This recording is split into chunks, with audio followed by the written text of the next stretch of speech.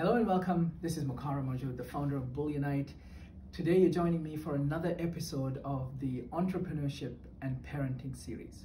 Today I wanted to take time um, to cover an important question that comes up when you're a parent and you want to start a company or you want to start your own business, right? And that question is, how do I get the time, Mukarram? Um, and, I, will say this to you. A lot of people say, Mukarram, you give, you give me the tips on how to do this and how to accomplish my business, how to become successful, but what about the time? Okay, most people, that's their biggest challenge. When you're a parent and you want to start a company, you always think about, well, where do I get the time? Because when you're a parent, you just run out of time every day. You know that. I have four kids, and so even if you have one child or you have multiple children, I understand the exhaustion that you feel at the end of the night when you're done with all your parenting duties, uh, and especially if you're working and you come back home and you take care of the kids, even if you're at home, how exhausting it is for moms that stay at home or even dads that stay at home. I'll tell you something, at night sometimes it is so exhausting that when I sit down, I just don't even think of doing anything else but just going to sleep. So I get it. When you say as a parent, where do I get the time? So here are some tips on how to solve that time challenge that you have, okay?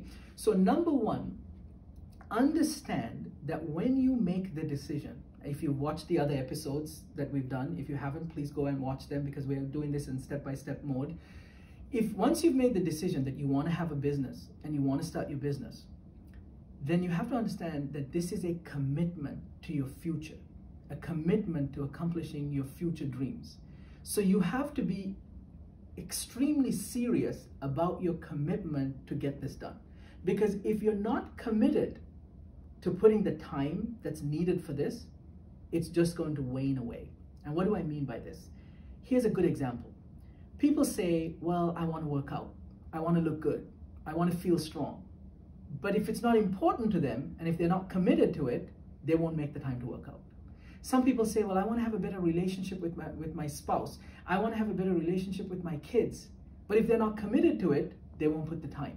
So this is why I'm saying, first, communicate it in, within you and in your mind that this is what you want and you're serious about it and commit to it 100%, not one foot out, one foot in.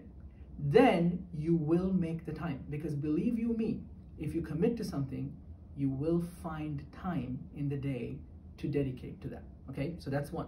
Second, delegate some tasks. Now, this is an interesting concept.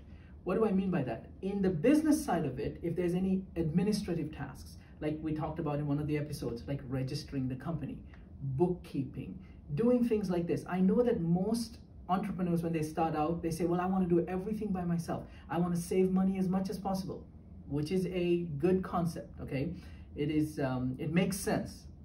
But this hack of delegating some of these early tasks actually helps you accomplish your goal. And here's an example. Let's say you have started your company, then you pay for a small service, like if it's a if it's a registration company or if it's a bookkeeping company. Even though it's a small fee you're paying, the time that it that it frees up for you allows you to build on your creative energy that you need to build your company and do what's necessary. Okay. Now, some people will say, "Hey, Mukarram, what about all the money? I mean, I, I, I mean, I'm already strapped, so I don't want to spend money on this and on delegating."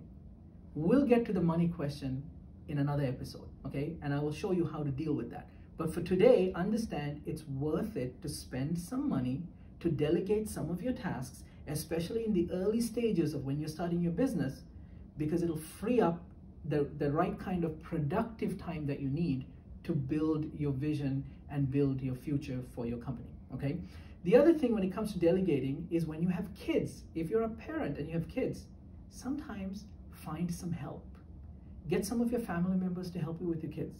If not, pay somebody for a few hours to help you with your kids. Don't think of it as, hey, if I'm paying this, then I, uh, I'm, I'm not saving money for my business. Actually, by, by spending that money for a few hours, I'm not saying hire someone for eight hours a day or anything like that. But if you hire someone for a couple hours a day, then that time will allow you to build your company, which will give you the freedom that you want one day from all of the exhaustion that you have. Okay, so second point, delegate some tasks, and if it's required, spend a little bit of, of money for your delegation. Number three, this is the most important. Find the right quiet times in your day as a parent to focus on building your company. What do I mean by this? All parents, all of us parents, we know that there are certain quiet times that I know the first thing we think of is go watch some TV, go veg, right? Go uh, sit down and just relax. But this is the time that your commitment comes in and says, hey, this is when I have to work on it. Let me give you some examples. Early mornings. Early mornings, your kids are asleep. The house is quiet. Commit to your task. Commit to your dream. So spend that time working on it and you'll see how productive you are in that early morning hours, okay?